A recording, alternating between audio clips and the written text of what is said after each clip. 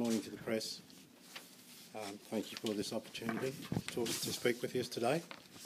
Um, we have a statement here that I wish to read out. My name is Rod Willie. I'm the grandfather of seven of the eight children whose lives were taken all too soon last week. I'm joined today by my family representatives across all eight victims and, and present this statement on behalf of our families. This unprecedented tragedy has directly affected multiple families, and we are working carefully and respectfully as immediate families, extended families, and other communities through a sensitive and cultural process to ensure our loved ones are respectfully put to rest. Thank you for the patience and understanding as we work through a very difficult process. We thank our families and communities for our love and support at this time and for banding together respectively for the benefit of us and especially in respect of our children, those we mourn.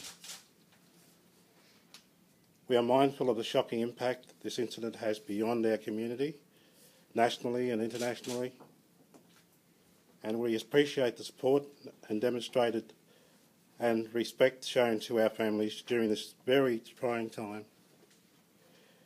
We extremely we are extremely grateful for the tremendous generous support that has been extended to our families from near and far from the various community leaders, community organisations, individual agencies, and the private and corporate sectors.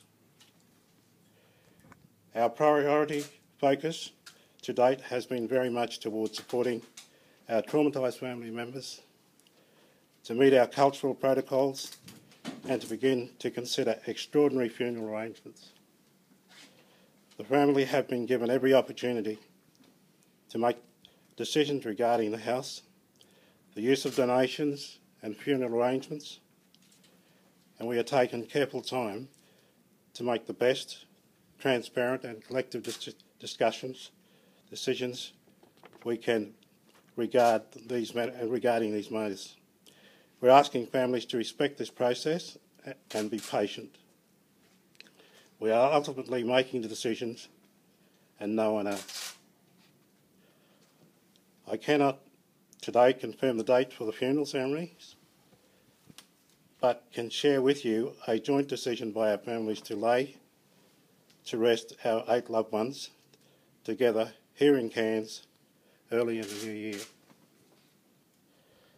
Particularly at this special time of the year, we take this opportunity to remind our families and the wider public to hold dear such occasions with the family and friends and to regularly offer and seek loving support from one another.